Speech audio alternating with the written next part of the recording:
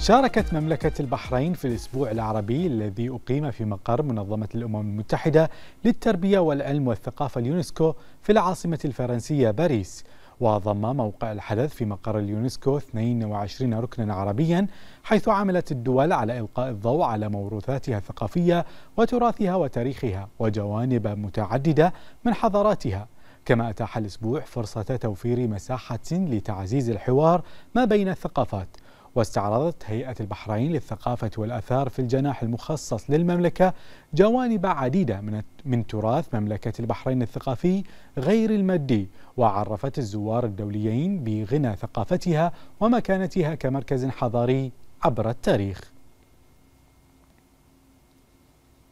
حصلت جمعية البحرين للفنون التشكيلية جائزة المركز التاسع في بنال الهند مضيفة إنجازا جديدا إلى سجلها الحافل بالعطاء الفني. وتسلم الجائزة نيابة عن الجمعية المصور محمد بوحسن والفنانة نور الصيرفي حيث عبرا عن اعتزازهما الكبير بتمثيل مملكة البحرين في هذا الحدث العالمي المرموق. وقدمت مملكة البحرين عشر أعمال فنية لمجموعة من المصورين البحرينيين تمحورت حول موضوع المرأة والطفل وإبراز العلاقة العاطفية العميقة بين الأم وطفلها ودور المرأة المحوري في التنشئة والتربية. يختصر متحف البحرين الوطني ذاكرة مملكة البحرين وتاريخها العريق نظرا لما يحتويه من مجموعة واسعة غنية من التحف الأثرية التي تعكس تاريخ البلاد ويعتبر متحف البحرين الوطني من أرقى المتاحف في منطقة الخليج حيث يعد أحد الصروح الثقافية الشامخة في مملكة البحرين. في ديسمبر عام 1988 تم افتتاح أكبر متحف في مملكة البحرين وهو متحف البحرين الوطني الذي يقع في المنامة بالقرب من المسرح الوطني.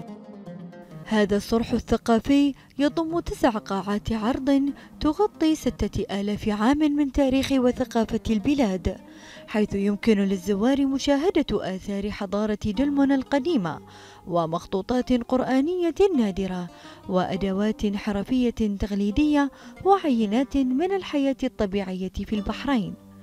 بالإضافة إلى آثار بحرية مثل السفن القديمة وأدوات الملاحة والهياكل العظمية للكائنات المنقرضة وقطع ترتبط بأسلوب حياة الشعب في القدم مثل الأواني المنزلية والألبسة التقليدية والأدوات الزراعية.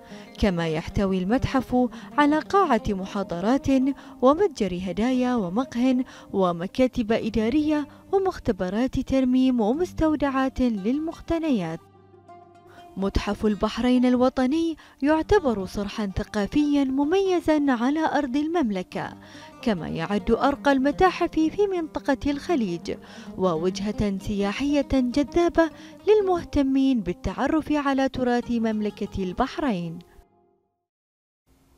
وفي المملكة العربية السعودية أطلقت هيئة الأفلام أعمال الدورة الثانية من مؤتمر النقد السينمائي الدولي في الرياض وذلك بحضور واسع من المهتمين والمتخصصين وصناع الأفلام وجمهور السينما. وتقام الدورة الثانية من مؤتمر النقد السينمائي تحت عنوان الصوت في السينما. ويبحث خلالها مختلف آفاق تأثير الصوت في تجربة الفيلم وأثره في صناعة السينما وذلك بجوانبه المختلفة التي تشمل الموسيقى التصويرية والمؤثرات الصوتية وأصوات الطبيعة. كما ويبحث المؤتمر جانبا متعددة أو جوانب متعددة للسينما ويشارك فيه مجموعة كبيرة من المتخصصين أفكارهم ومرئياتهم عبر ندوات حوارية وعروض تقديمية إلى جانب عدد من الورش التدريبية وعروض الأفلام والأركان التفاعلية التي تتيح لكل محب للسينما والفنون الاستمتاع برحلة مثرية ترتقي بتجربة مشاهدة الفيلم للجميع.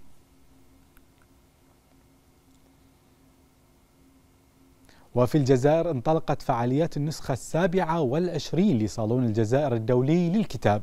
والذي يستمر حتى السادس عشر من شهر نوفمبر الحالي بمشاركة أكثر من ألف ناشر من أربعين دولة من بينهم 290 ناشرا جزائريا يعرضون أكثر من 300 ألف عنوان.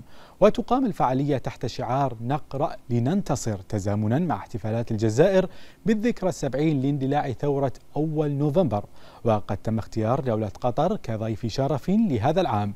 ويتضمن البرنامج الثقافي والفكري عدة ندوات وسلسلة من الأمسيات الشعرية التي سيقدمها أسماء أدبية وفكرية من الجزائر وخارجها. وسيتم من خلالها مناقشة العديد من المواضيع المتعلقة بالأدب والتراث والتاريخ والسينما وغيرها الكثير.